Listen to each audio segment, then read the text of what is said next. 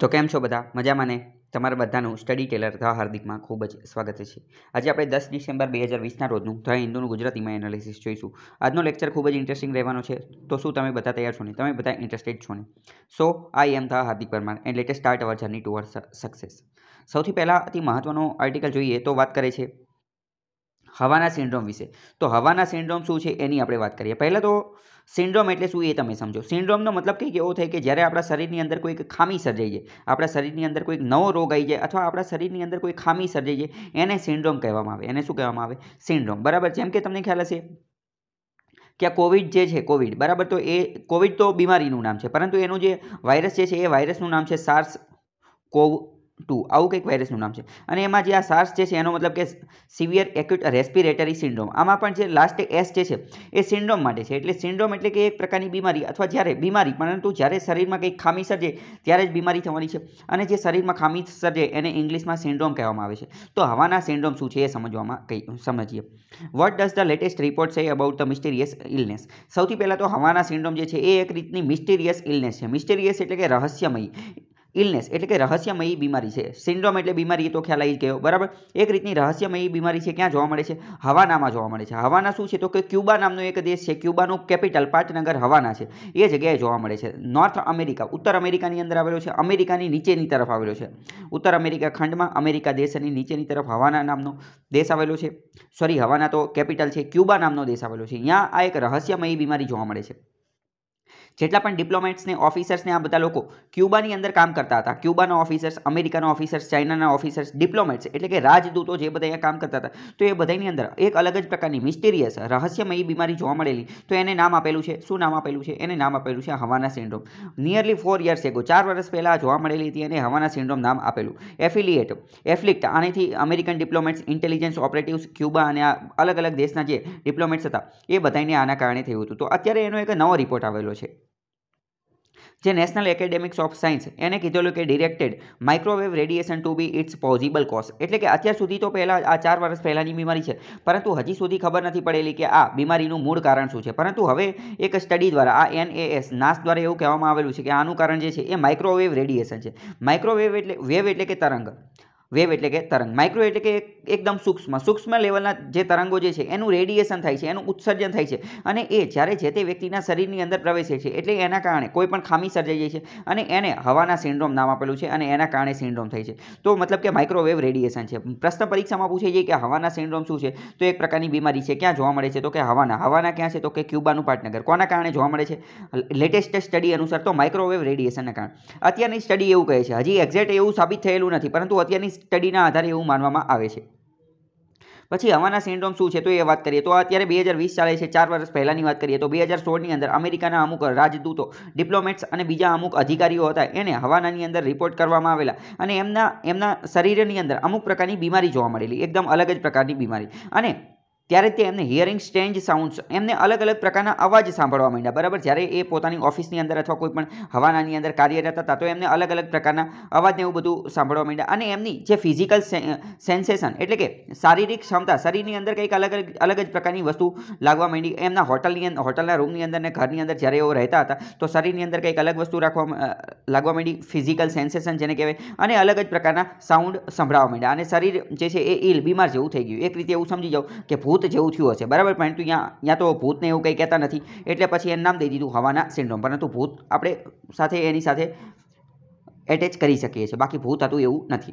બાકી વાત કરીએ કે સિમ્ટમ્સ આની અંદર કેવા કેવા સિમ્ટમ્સ શરીરની અંદર જોવા મળેલા હતા? તો કે નોસિયા એટલે કે થાક, પછી સિવિયર હેડેક ખતરનાક લેવલનું માથું દુખવા માંડ્યું. ફટીગ એટલે કે થાક. ડિઝીનેસ એટલે કે બેચેની. સ્લીપ પ્રોબ્લેમ એટલે કે સુવામાં સમસ્યા થતી હતી. હિયરિંગ લોસ સાંભળવાનું, સાંભળવામાં તકલીફ થતી હતી. તો આ બધી વસ્તુને પછી હવાના સિન્ડ્રોમ કહી દીધેલું હતું. તો હવાના સિન્ડ્રોમના કારણો અલગ અલગ હોઈ શકે છે. જેમ કે એવું કે directed pulses R F energy radio frequency energy એના ઉર્જાના કારણે શરીરની અંદર આ કોઈ રેડિયેશન એવું બધું થતું હતું. એના કારણે થતું હોય એવું માનવામાં આવે છે મિકેનિક્સ ને એ બધાના કારણે. અત્યારે પણ એવું જ કીધેલું છે.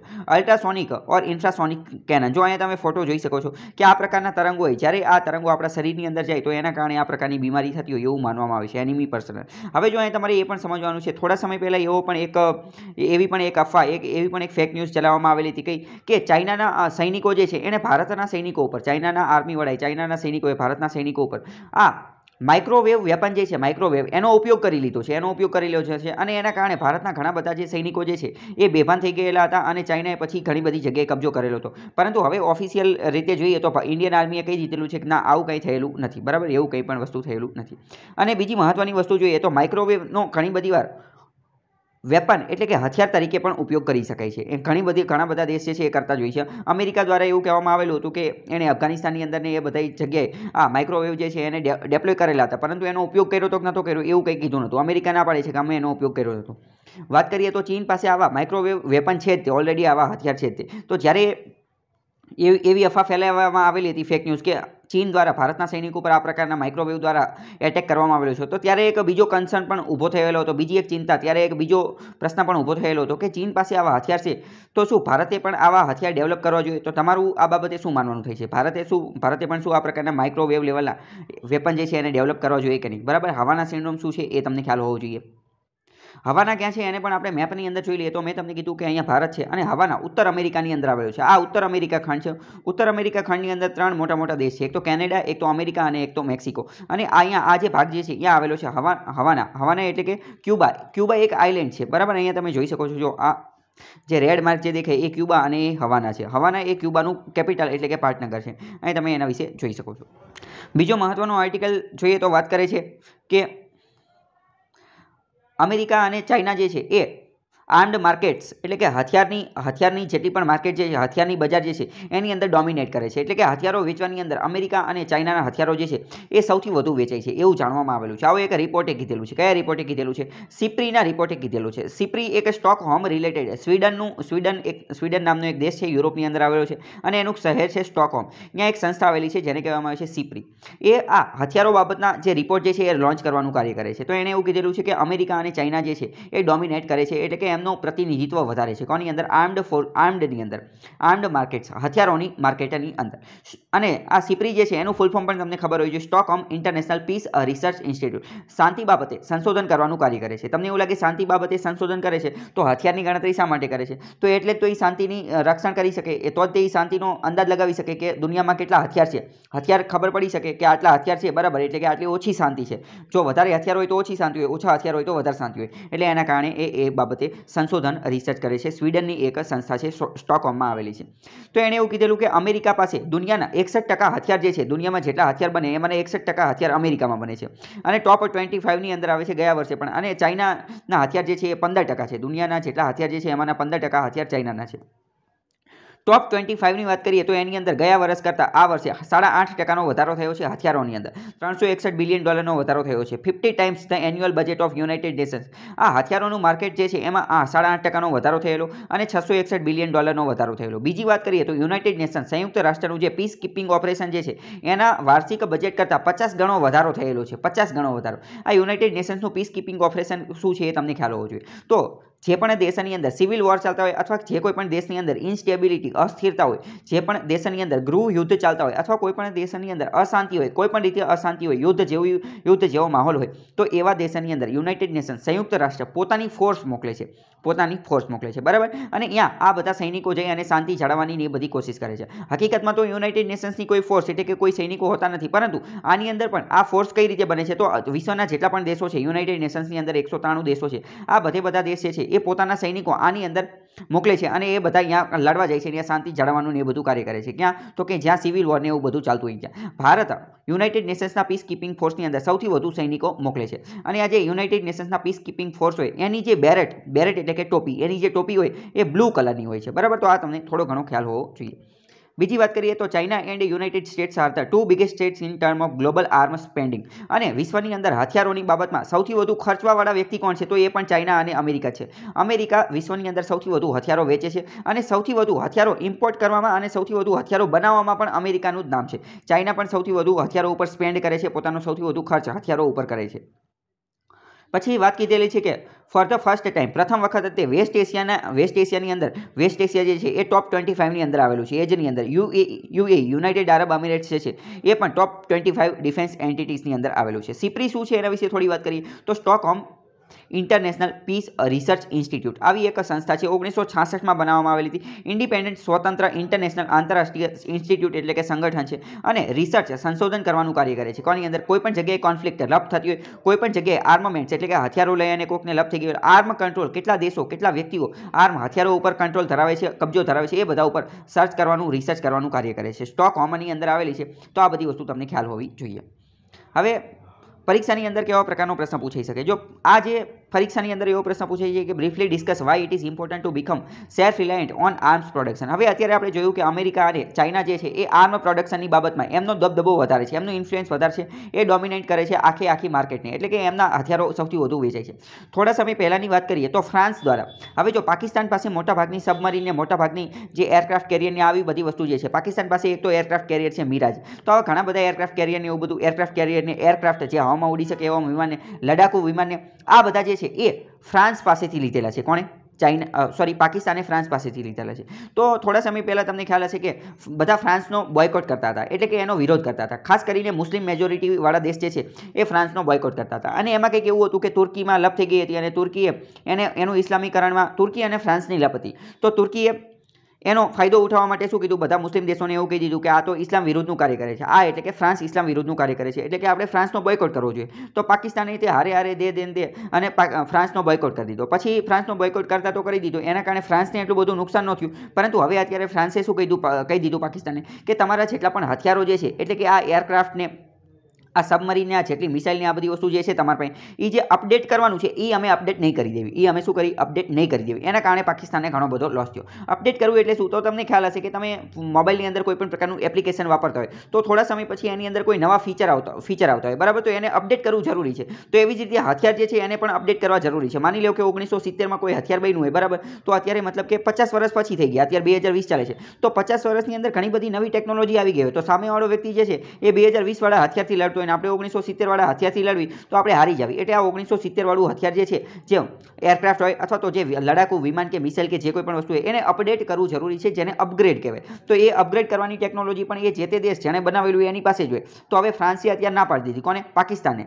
કે અમે આ અપડેટ નહીં કરી દઈએ. બરાબર? તો હવે જો કે ભારત સાથે તો એવું થાય એવું નથી. પરંતુ એક રીતે આપણે એક પ્રશ્ન અહીંયા એ ઊભો થાય છે. શું? કે ભારતે પણ એક રીતે આત્મનિર્ભર રહેવું જોઈએ. આત્મનિર્ભર રહેવાથી શું ફાયદો થાય? કે હવે માની લો કે, અને બીજી વાત કરીએ, તો પાકિસ્તાન, પાકિસ્તાનના અત્યારના જેટલા હથિયારો જે છે, એ મોટા ભાગના હથિયારો જે છે, એ ફ્રાન્સ પાસેથી જ એણે ખરીદેલા છે. જોકે હવે અત્યારે તો એણે ચાઇના પાસેથી રશિયા પાસેથી પણ હથિયારો ખરીદવાનું ચાલુ કરેલું છે. પરંતુ જૂના સમયના જેટલા હથિયારો જે છે, એ મોટા ભાગના ફ્રાન્સ પાસેથી ખરીદેલા. તો હવે એ તો અપગ્રેડ થશે નહીં, તો એને ઘણો બધો લોસ થયેલો છે. તો અહીંયા એક એ પ્રશ્ન ઊભો થાય છે કે, હથિયારોની બાબતમાં આત્મનિર્ભર રહેવું એ પણ જરૂરી છે. ગમે ત્યારે આ વસ્તુ તમારે લખવી હોય તો એના સબૂત સ્વરૂપે, પ્રૂફ સ્વરૂપે તમે આ વસ્તુ કહી શકો છો કે પાકિસ્તાન સાથે આવું થયેલું છે, તો ભવિષ્યમાં કદાચ આવું અન્ય દેશ સાથે પણ થઈ શકે, તો આપણે આત્મનિર્ભર હોવા જરૂરી છે.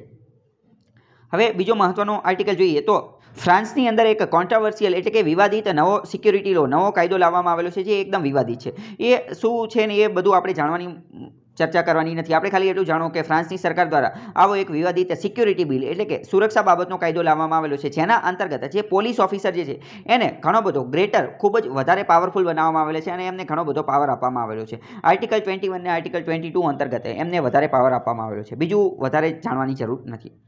હવે બીજો મહત્વનો આર્ટિકલ જોઈએ તો એ વાત કરે છે કે light detection and ranging survey technique. આપણે વાત કરવાની છે કે આ લીડાર શું છે? લીડાર એટલે શું? પહેલાં તો એ તમને ખબર હોય જોઈએ લીડારનું ફૂલ ફોર્મ જાણીએ તો લાઇટ ડિટેક્શન એનો મતલબ શું થાય કે લાઇટ એને ડિટેક્ટ કરી નાખે લાઇટને શોધી નાખે. કોઈ પણ જગ્યાએ લાઇટ હોય તો એને ખબર પડી જાય ડિટેક્ટ કરી નાખે કે બરાબર, અહીંયા લાઇટ છે. And ranging survey ranging survey. બરાબર? એટલે કે આ લાઇટ કેટલી રેન્જની અંદર છે? એની એની રેન્જ કેટલી છે? એનું સર્વે કરી નાખે. તો લીડર ટેકનિક અહીંયા આપણે જોઈએ તો એના ફૂલ ફોર્મ ઉપરથી ખબર પડે કે સર્વે કરવા માટે વપરાતી હશે. સર્વે કરવું એટલે શું? સર્વે કરવું એટલે અવલોકન કરવું, એની નિગરાની રાખવી. સુપરવિઝન કરવું મોનિટરિંગ કરવું બરાબર? તો સર્વે કરવા માટે વપરાતી હશે. અત્યારે ચર્ચામાં શા માટે છે? તો અત્યારે ચર્ચામાં એટલા માટે છે કે National High Speed Rail Corporation Limited, National High Speed Rail Corporation Limited, એના દ્વારા એવું કીધેલું છે કે અમે લીડા ટેકનોલોજીનો ઉપયોગ કરશું. લીડા ટેકનોલોજીનો ઉપયોગ કરશું અને એના કારણે લેઝર ઇમ્બેમ્ડ ઇક્વિપમેન્ટ અને એનો ઉપયોગ કરી અને આ માઉન્ટેડ હેલિકોપ્ટરના ને એ બધાનો ઉપયોગ કરી અને અમે ગ્રાઉન્ડ સર્વે એટલે કે મેદાન ઉપર સર્વે કરવાનું કાર્ય કરશું. કઈ જગ્યાએ? તો કે અહીંયા Delhi, Varanasi H S R corridor બનાવવાનો છે. એ જગ્યાએ અમે સર્વે કરવા માટે લીડા ટેકનોલોજીનો ઉપયોગ કરશું. એવું કોણે કીધું? તો કે એવું કીધું આ National High Speed Rail Corporation Limited. એટલે આ ચર્ચામાં છે. તો આપણી માટે મહત્વનું એ છે કે આપણે આ લીડા ટેકનોલોજી વિશે જાણીએ. દિલ્હી, વારાણસી, એચએસઆર એલાઇનમેન્ટ એટલે કે આ જે કોરિડોર જે છે એ બનાવવાનો છે. એ ટેરેન એટલે કે મેદાન ઉપર અને densely populated urban and rural area ઉપર બનાવવાનું છે. એટલે કે ડેન્સલી ગીચ, વધારે ગીચતાપૂર્ણ વસ્તી ધરાવતા એટલે કે ઘણા બધા લોકો એ જગ્યાએ રહે છે. અર્બન શહેરીમાં પણ અને રૂરલ ગ્રામ્ય વિસ્તારની અંદર પણ. તો અહીંયા જે આ હાઈવે ને રોડને રેલને એ બધું બનાવવાનું છે, તો એના કારણે સર્વે કરવું જરૂરી છે. એટલે આ સર્વે જે છે એ લીડાર કારણે કરવામાં આવશે. લીડારના આધારે. નહીં હવે એક એક વ્યક્તિ અહીંયા જઈ અને સર્વે કરવામાં આવે તો ઘણો બધો ટાઈમ લાગી જાય. એટલે ટેકનોલોજીનો ઉપયોગ કરી અને લીડારથી કરવામાં આવશે. અહીંયા હાઈવે રોડ વેસ્ટર્ન ઘાટ ને રિવર વેસ્ટર્ન ઘાટ નહીં, પરંતુ આ ખાલી ઘાટ રિવર ગ્રીન ફિલ્ડ ને આ બધી વસ્તુ, ઘણી બધી વસ્તુ છે. તો એ એક રીતે ચેલેન્જિંગ છે અહીંયા સર્વે કરવું તો National High Speed Rail Corporation Limited જે છે, એને આ કાર્ય જે છે એ ડિટેલ પ્રોજેક્ટ માટેનું દિલ્હી વારાણસી એ મિનિસ્ટ્રી ઓફ રેલવેઝને આપેલું છે. તો એ ખ્યાલ હોવો જોઈએ. તો લીડર શું છે? આપણે ડાયરેક્ટ એની વાત વાત કરીએ. તો રીડર જે છે એ રિમોટ સેન્સિંગ મેથડ છે. રિમોટ સેન્સિંગ એટલે કે આપણે રૂબરૂ અહીંયા જવાની જરૂર નથી, પરંતુ રિમોટ એટલે કે દૂરથી તે રિમોટથી તરંગો મોકલવાના અને તરંગોની મદદથી તે આપણે જોઈ શકીએ કે એ ઓટોમેટિક અહીંયા સર્વે કરી શકે કે એની ઊંચાઈ કેટલી છે, આ કઈ કઈ વસ્તુ છે અહીંયા કેવું જોવા મળે છે ત્યાંની ટોપોગ્રાફી ત્યાંની જિયોગ્રાફી આનું ભૂગોળ કેવું છે, એ બધી વસ્તુ આપણે જોઈ શકીએ. લાઇટ અને આમાં કોનો ઉપયોગ કરવામાં આવે તો કે લાઇટ એટલે કે પ્રકાશનો કરવામાં આવે. અને પ્રકાશનો કયા ફોર્મમાં તો કે પલ્સ લેઝર પ્રકાશનો લેઝરના ફોર્મની અંદર ઉપયોગ કરવામાં આવે અને વેરિયેબલ ડિસ્ટન્સ પૃથ્વીના અલગ અલગ અંતરેથી આ જે પ્રકાશ છે એ ફેંકવામાં આવે લેઝર સ્વરૂપે ફેંકવામાં આવે. અને એની પછી અંતર માપવામાં આવે. This light pulse is combined with other data આની અંદર બીજો પણ અમુક અમુક પ્રકારનો ડેટા માહિતી હોય છે, જે એરબોર્ન સિસ્ટમ એટલે કે હવામાં ઉડતી જે કોઈ વસ્તુ હોય એના દ્વારા ચેક કરવામાં આવે છે. અને આનો જે ડેટા જે છે એ પ્રિસાઇઝ હોય છે અને થ્રી ડાયમેન્શન આની અંદરની બધી માહિતી જે છે એ થ્રી ડીની અંદર આપણે જોઈ શકીએ છીએ. અર્થ, પૃથ્વી અને એની આજુબાજુની જે સરફેસ એટલે કે એની જે સપાટી જે છે, એની કેરેક્ટરિસ્ટિક્સ એનું, એની જે ભૂગોળ અથવા તો એની કેરેક્ટરિસ્ટિક્સ એટલે એની વસ્તુઓ કઈ કઈ છે એ બધી વસ્તુ પણ જાણવા મળે છે. એની લાક્ષણિકતાઓ કઈ કઈ છે? લીડર કઈ રીતે વર્ક કરે છે એની થોડી વાત કરીએ તો લીડર જે છે એ સિમ્પલ પ્રિન્સિપલ એક સામાન્ય સિદ્ધાંત ઉપર વર્ક કરે છે. જેના અંતર્ગત થ્રો લેઝર લાઇટ કોઈ પણ ઓબ્જેક્ટ કોઈ પણ વસ્તુ ઉપર, પૃથ્વી ઉપરના કોઈ પણ ઓબ્જેક્ટ કોઈ પણ વસ્તુ ઉપર લેઝર લાઇટ જે છે એ ફેંકવામાં આવે છે. અને પછી એના કારણે એ લેઝર લાઇટ જે છે એની સ્પીડ કેટલી છે તો આપણને ખબર હોય ફોર એક્ઝામ્પલ માનો કે આપણે અહીંથી કોઈ લેઝર લાઇટ ફેંકેલી છે તો આપણને ખબર હોય કે આની સ્પીડ કેટલી છે. અથવા તો આપણે પહેલેથી તે નક્કી કરવાનું કે આપણે દસ કિલોમીટર પ્રતિ કલાક અથવા સો કિલોમીટર પ્રતિ કલાકની સ્પીડથી આ લેઝર લાઇટ ફેંકવાની છે. હવે આ લેઝર લાઇટ સામે પહોંચી ગઈ, બરાબર? તો આપણે એ નોંધી લેવાનું કે આને અહીંયા પહોંચતા કેટલો સમય લાગેલો છે? દસ સેકન્ડ, વીસ સેકન્ડ, એક કલાક, દસ કલાક, પચાસ કલાક, કેટલો સમય લાગેલો છે? એ નક્કી કરી લેવાનું. અને આપણે આ બે વસ્તુ નક્કી કરી લેવી. એટલે તમને એક એક ફોર્મ્યુલા એક સૂત્ર ખબર હશે કે ઝડપ બરાબર અંતરના છેદમાં સમય. ઝડપ બરાબર અંતરના છેદમાં સમય. તો ઝડપ આપણને ખબર હતી, આપણે જે મોકલેલી હતી અને જે અંતર સોરી સમય, એને એને કેટલો સમય લાગ્યો એ પણ આપણને ખબર પડી ગઈ. તો આ બંનેની મદદથી આપણે ડિસ્ટન્સ એટલે કે અંતર ફાઇન્ડ આઉટ કરી શકીએ છીએ. કોની મદદથી? સ્પીડ એટલે કે ઝડપ અને ટાઈમ એટલે કે સમયની મદદથી. બરાબર? તો આપણે આ લીડર જે પ્રકાશ ફેંકેલો, એની સ્પીડ આપણને ખબર હશે. અને અહીંયા સામે પહોંચતા કેટલી વાર લાગેલી? એ સેકન્ડ એ સમય પણ આપણને ખબર હશે. તો એ બંનેની મદદથી આપણે અંતર ફાઇન્ડ આઉટ કરી શકીએ છીએ. તો લીડર એવી રીતે વર્ક કરે છે. આ lidar instrument principal contents of a laser એની અંદર લેઝર સ્કેનર અને જીપીએસ રિસીવરને આ બધી વસ્તુ પણ હોય છે. આને એરોપ્લેન અથવા હેલિકોપ્ટરમાંથી આ સિગ્નલ જે છે, આ જે પ્રકાશ લેઝર લાઇટ જે છે, એ છોડવામાં આવે છે. એ પણ તમને ખબર હોય છે. જો અહીંયા તમે જોઈ શકો છો, ફરીથી આપણે ગ્રાફિક દ્વારા સમજવાની કોશિશ કરીએ. આ હેલિકોપ્ટર છે. તો આવી રીતે આ નીચે આ લેઝર લાઇટ જે છે, એ ફેંકવામાં આવે. તો અહીંથી લેઝર લાઇટ ફેંકવામાં આવે તો આપણને ખબર હોય કે એની સ્પીડ કેટલી છે. અથવા આપણે પહેલેથી તે નિશ્ચિત કરી નાખવાનું કે આપણે આટલી સ્પીડે ત્યાં લાઇટ ફેંકવાની છે. તો હવે સામે, એટલે કે માની લો કે અહીંયા જમીન ઉપર પહોંચતા એને કેટલો સમય લાગે છે? દસ સેકન્ડ લાગે છે. તો આ સ્પીડ અને સમય એટલે કે સેકન્ડ એ બંનેની ઉપરથી આપણે એનું ડિસ્ટન્સ ફાઇન્ડ આઉટ કરી શકીએ છીએ. તો આ બધી વસ્તુ, અહીંયા કઈ કઈ વસ્તુ છે એ બધી વસ્તુ આપણે ચેક કરી શકીએ છીએ. મતલબ કે એનું મોનિટરિંગ કરી શકીએ છીએ. તો મહત્વનો આર્ટિકલ જોઈએ તો પીડીએસ પીડીએસ આજે ફોર્ટિફાઈડ રાઈસ ફોર્ટિફાઈડ રાઈસ એટલે કે ચોખાને ફોર્ટિફાઈડ કરવાના છે અને એને લોન્ચ કરેલા છે. પરંતુ અમુક અમુક એક્ટિવિસ્ટ જે છે એ આનો વિરોધ કરી રહ્યા છે. થોડા સમય પહેલાં આપણે ન્યૂઝમાં જોયેલું હતું કે પીડીએસ પબ્લિક ડિસ્ટ્રીબ્યુશન સિસ્ટમની અંદર, આ ફોર્ટિફાઈડ ચોખા જે છે એ આપવામાં આવશે બધાને પીડીએસ સિસ્ટમની અંદર. પરંતુ હવે ઘણા બધા એક્ટિવિસ્ટ કાર્યકર્તાઓ જે છે એ એનો વિરોધ કરી રહ્યો છે. ઓડિશા સરકાર દ્વારા આવું નક્કી કરવામાં આવેલું છે કે ફોર્ટિફાઈડ રાઈસ જે છે એ પીડીએસ સિસ્ટમની અંદર આપશે, પરંતુ ઘણા બધા એક્ટિવિસ્ટ જે છે એ એનો વિરોધ કરી રહ્યા છે. એમનું એવું કહેવાનું થાય છે કે આ જે શું કહેવાનું કે vitamin C and calcium are available in abundance in natural food. એટલે કે કોઈ પણ પ્રકારનું કુદરતી ખોરાક હશે, કોઈ પણ પ્રકારનો કુદરતી ખોરાક. તો એની અંદર વિટામિન સી અને કેલ્શિયમ આ બંને જે છે એ અબુન્ડન્સ વિપુલ પ્રમાણની અંદર મળી રહે છે. ઈસેની અંદર વિપુલ પ્રમાણની અંદર મળી રહે છે. અને વિટામિન સી જે છે એ વોટર સોલ્યુએબલ છે. વોટર સોલ્યુએબલ એટલે કે પાણીમાં ઓગળી શકે એવું છે. વિટામિન સી પાણીમાં ઓગળી જાય છે. તો હવે જો ચોખાની અંદર, જો ચોખાની અંદર આપણે વિટામિન સીનું બાયોફોર્ટિફિકેશન કરીશું અથવા ફોર્ટિફિકેશન કરીશું, તો મતલબ કે ચોખાની અંદર આપણે બહારથી વિટામિન સી નાખીશું, તો શું થશે? આપણે જ્યારે ચોખા બનાવવાના હશે અને ચોખાને જ્યારે ધોવાનું કાર્ય કરીશું, તો ત્યારે આ જે વિટામિન સી જે છે એ ધોવાઈ જશે. કેમ? કારણ કે એ તો પાણીમાં ઓગળી જશે. તો ચોખાને જેવા ધોશું, તો તરત જ તે વિટામિન સી એની અંદરથી નીકળી જશે. એટલે એમનું એવું કહેવાનું થાય છે જે વિરોધ કરવાવાળા એક્ટિવિસ્ટ લોકોનું, કે આ આખે આખો પ્રોગ્રામ જે છે, આ એક્સરસાઇઝ છે એ ફ્યુટાઇલ છે, નિરર્થક છે, વ્યર્થ છે. કારણ કે વિટામિન સીનું તમે બાયોફોર્ટિફિકેશન કરશો, તો એ જ્યારે ચોખા ધોવામાં આવશે ત્યારે એ ઓગળી જશે, બરાબર? અને એ અનકુકડ રાઈસ માટે ને એ બધા માટે સારી વસ્તુ નથી. And move would lead to wasteful of expenditure આના કારણે ઘણો બધો ખોટો ખર્ચો થઈ જશે. તો ફૂડ ફોર્ટિફિકેશન એટલે શું? આપણે એ જાણવાની કોશિશ કરીએ.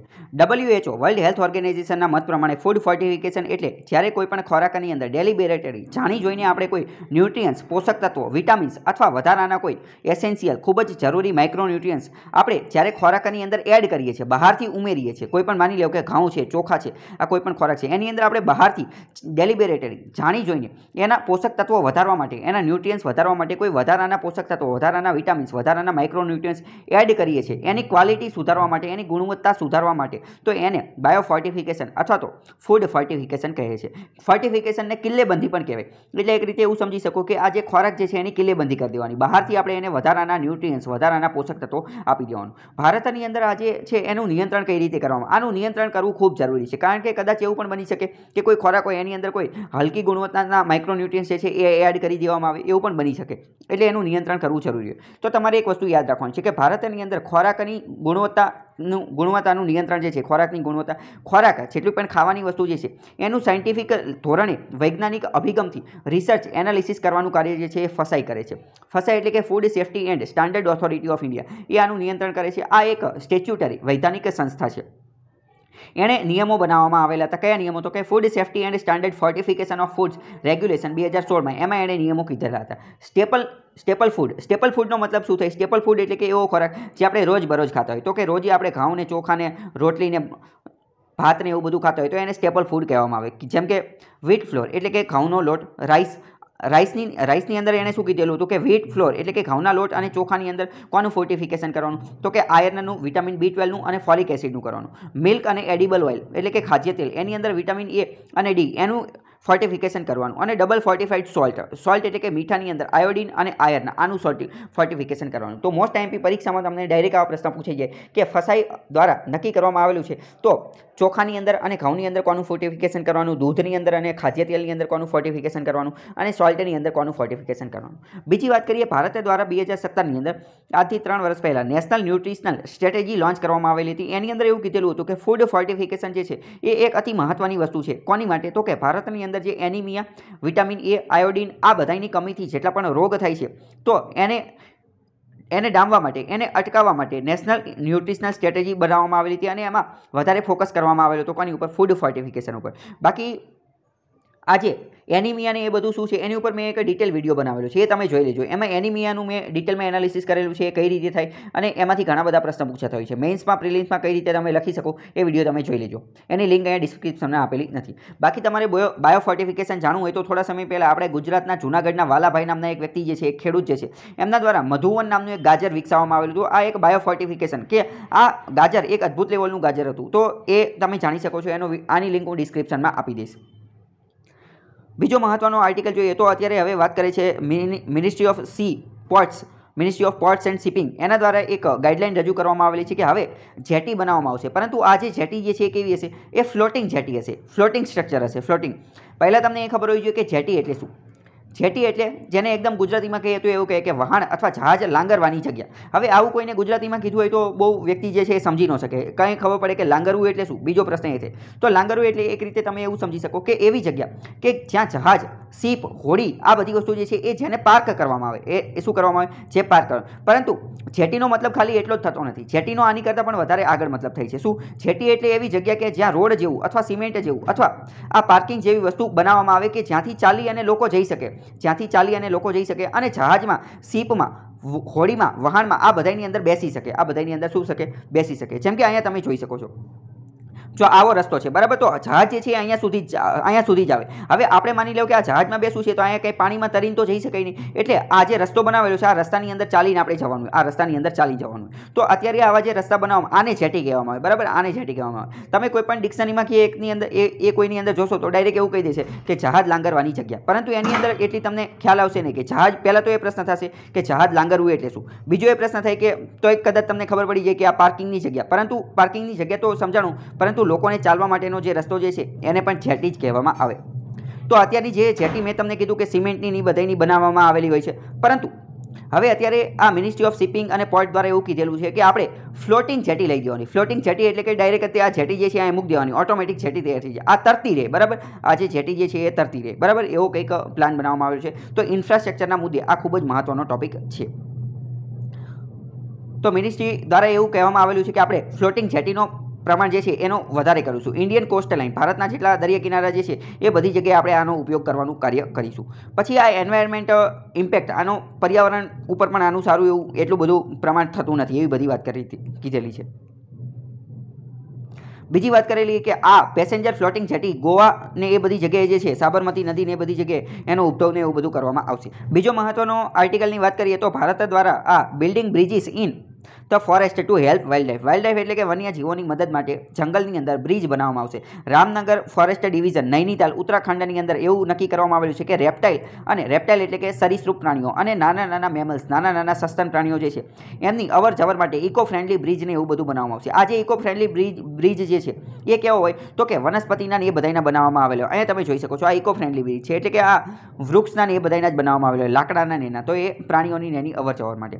બીજો મહત્વનો આર્ટિકલ જોઈએ તો થારુ ટ્રાઇબ વિશે વાત કરે છે. થારુ ટ્રાઇબ શું છે એ તમને ખબર હોય છે. ઉત્તર પ્રદેશની સરકાર દ્વારા એવું નક્કી કરવામાં આવેલું છે કે ટુરિઝમને પ્રમોટ કરવા માટે થારુ ટ્રાઇબ જે ઝૂંપડીની અંદર જે હટની અંદર રહે છે જે જેની અંદર રહે છે એવી એવી હટ એવી ઝૂંપડીને એવું બધું બનાવવામાં આવશે. અને એના કારણે જે આ ફોરેસ્ટ ફોરેનર જે છે ટુરિસ્ટ લોકો જે છે એ અહીંયા એ ઝૂંપડીની અંદર રહી શકશે, ભાડું આપી અને રહી શકશે અને એના કારણે એ એક્સપિરિયન્સ અનુભવ કરી શકે કે થારું ટાઈપના લોકો જે છે, એ આ ઝૂંપડીમાં રહે છે, એ ઝૂંપડીમાં રહેવાનું કેવું લાગે? મજા આવે કે ન મજા આવે? તો થારું હેબિટેટ બનાવવામાં આવશે નેચરલ થારું હેબિટેટ થારું હેબિટેટ જે છે, એના વિશે તમને ખ્યાલ હોવો જોઈએ. તો પહેલાં તો થારું જે છે એ શબ્દ ક્યાંથી આવેલો છે એ એવું માનવામાં આવે છે કે સ્થાવીર નામના સ્થાવીરમાંથી આવવામાં આવ્યો છે. અને સ્થાવીરનો મતલબ શું થાય? તો કે થેરાવદા બુદ્ધિઝમ. બુદ્ધિઝમના બુદ્ધ ભગવાન જે છે એના અલગ અલગ પ્રકાર છે. મહાયાન હિનયાન અને થેરાવદા. તો થેરાવદા બુદ્ધિઝમ સાથે સંબંધિત છે સ્થાવીર. તો આ થાવુર જે છે એ ભારતની અંદર અને નેપાળની અંદર જોવા મળે છે. ભારતની અંદર ઉત્તરાખંડ ઉત્તર પ્રદેશ અને બિહારની અંદર જોવા મળે છે. તો થારું વુમન જે છે એનો પ્રોપર્ટી રાઇટ્સ આ સંપત્તિ માટેનો અધિકાર જે છે એ થોડો વધારે હોય છે. તો એ તમને ખ્યાલ હોવો જોઈએ. બીજો મહત્વનો આર્ટિકલ જોઈએ તો ભારતની અંદર હવે એક નવું મેજર પોર્ટ બનવાનું છે. પહેલાં તો તમને એ ખબર હોય છે કે ભારતની અંદર મેજર પોર્ટ કેટલા છે? ભારતની અંદર ટોટલ બાર મેજર પોર્ટ છે. મેજર પોર્ટ એટલે કે મોટા પોર્ટ પોર્ટ એટલે કે બંદર. બરાબર?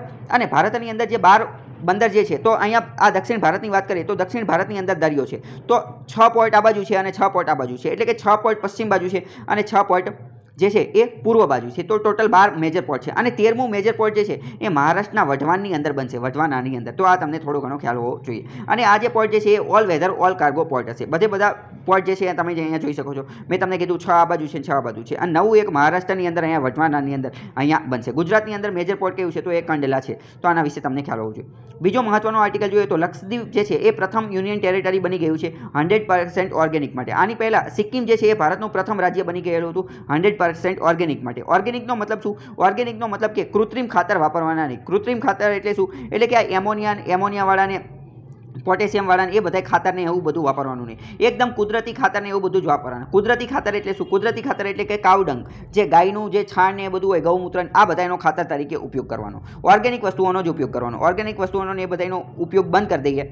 સોરી અનઓર્ગેનિક વસ્તુઓનો. આ જે કૃત્રિમ ખાતરનો બાયો ફર્ટિલાઇઝરનો ઉપયોગ બંધ કરી દઈએ, એટલે શું બની જાય? એટલે આ ઓર્ગેનિક ઓર્ગેનિક સ્ટેટ બની જાય. તો લક્ષદ્વીપ જે છે એ પ્રથમ કેન્દ્રશાસિત પ્રદેશ બની ગયું. પ્રથમ રાજ્ય કેવું હતું? તો એ હતું સિક્કિમ. એ તમને ખ્યાલ હોવો જોઈએ. બીજી મહત્વની વાત કરીએ તો બાંગ્લાદેશે પ્રથમ કરાર કરી દીધેલો છે, પ્રિફરન્શિયલ ટ્રેડ એગ્રીમેન્ટ. કોની સાથે? ભૂતાન સાથે. અને આ બાંગ્લાદેશનો આ પ્રથમ પીટીએ છે. એ કોની સાથે કરેલો છે? એણે ભૂતાન સાથે કરેલો છે. અને વાત કરીએ તો ભૂતાન જે છે, એ બાંગ્લાદેશને દેશ તરીકે સ્વીકારવાવાળું પ્રથમ દેશ હતો. એ પણ તમને ખબર હોવી જોઈએ. બીજો મહત્વનો આર્ટિકલ જોઈએ તો ભારતની અંદર બે નવા પ્રાણી સંગ્રહાલયને મંજૂરી મળી ગઈ છે. એક તો રાજગીર જૂ સફારી, બિહારની અંદર નાલંદામાં આવેલું છે અને શાહીન આસફાક, ઉલ્લાહ ખાન પાણી ઉદ્યાન, આ ગોરખપુર, ઉત્તર પ્રદેશ. આ બંને સાડત્રીસમાં નંબરના જે પ્રાણી સંગ્રહાલયની આને પરમિશન મળી ગઈ છે.